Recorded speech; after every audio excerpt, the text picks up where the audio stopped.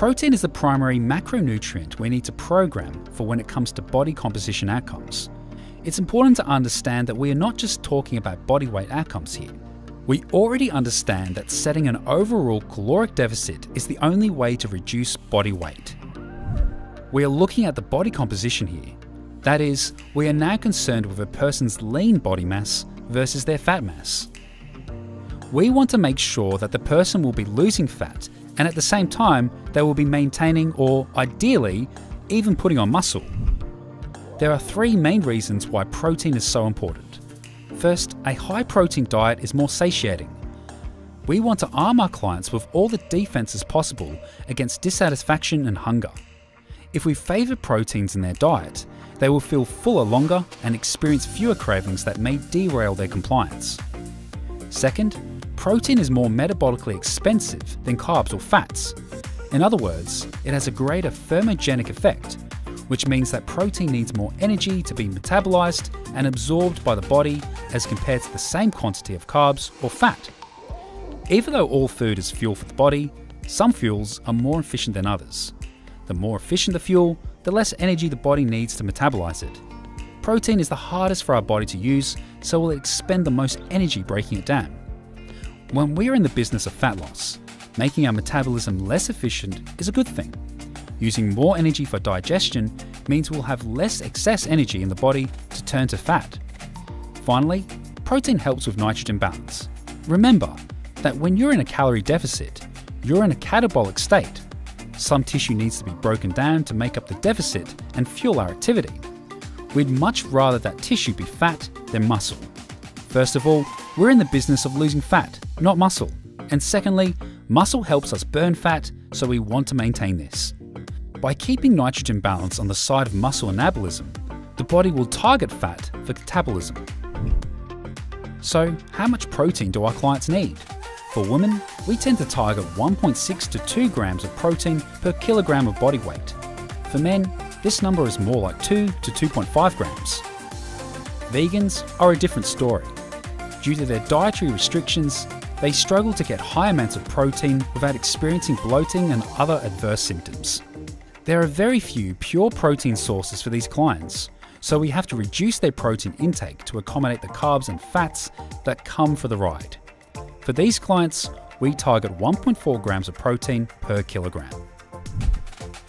You may be wondering, if protein is so important, why not just give our clients all protein? Good question. First of all, we need to ensure that our client has enough essential fatty acids in their diet. As the word implies, these nutrients are important and cannot be omitted as the human body actually doesn't have the capacity to synthesize them. In addition, protein is an inefficient energy source for the body. Absent carbs or fats, a client's ability to train, be motivated, and just live their lives is going to be severely compromised. In a severe energy deficit, one where no carbs or fats are coming in, the body will naturally reduce NEAT as a way to compensate. This moves everything in the wrong direction when it comes to managing the calories out component of energy balance. If a client stops moving because they have no energy, their calories out will suffer and energy balance will start to go in the wrong direction. Sometimes you'll encounter a client who is barely eating any protein at all. This can create a challenge when you program their diet for high protein. For an 80 kilogram female client, you might program 160 grams of protein based on our targets.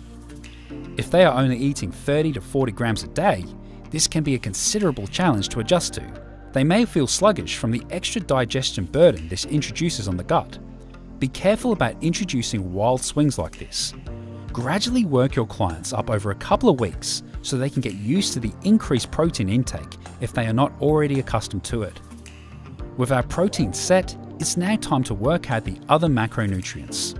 As we've already discussed, our preferred energy source, either carbohydrates, fats, or a balanced blend of the two, will largely be dictated by how they make our client feel. If the client is a slow oxidizer, we will give them more carbs. If they are a fast oxidizer, we'll give them more fats. In both cases, our goal is to balance out the release of energy to avoid crashes, so we have productive training sessions and maintain compliance. But what if you don't know which one works best for your client? Some clients will have prior experience with this and will know whether they are happier on carbs or fats. Again, use the power of macronutrient splits to keep your clients feeling good. If they feel like carbs, let them have carbs up to the limit imposed by their target calories. Same goes for fats. But if your client doesn't have a clear picture of which works best for them, we like to recommend the Diet Boot Camp. The recipe is simple. We set protein based on the targets we've already discussed. For women, 1.6 to 2 grams of protein per kilogram of body weight. For men, 2 to 2.5 grams per kilogram of body weight. We then add a lot of veggies, enough that they are eating vegetables with every meal. We fill the remaining calories with healthy fats. You can think of this as a traditionally low carb approach. where you're making a bet that your average Pop client has been eating poorly and has bad micronutrient and fiber intake. They probably also have at least some issues with insulin sensitivity, as the vast majority of overweight people have struggled with sweets. If we know that this is more likely the case than not, then we are best off with a low carb approach. Even if this client will ultimately feel their best on a higher carb plan, just the act of getting their leptin and insulin sensitivity reset through a calorie restricted low carb diet like this will make them feel better. Plus, the combination of getting leptin under control and adding heaps of fibre will help them feel full from meals that are a fraction of the size they'd usually eat. As the client's health improves on this approach, we can then start tweaking based on how they are feeling. As a coach, it's critical that you support your client's compliance. Giving them something they can't do will only demotivate and derail them, but it will also prevent you from getting a successful transformation. Macronutrients are a powerful tool in your arsenal that, if used correctly, will result in your client getting the epic transformation they never knew they could achieve.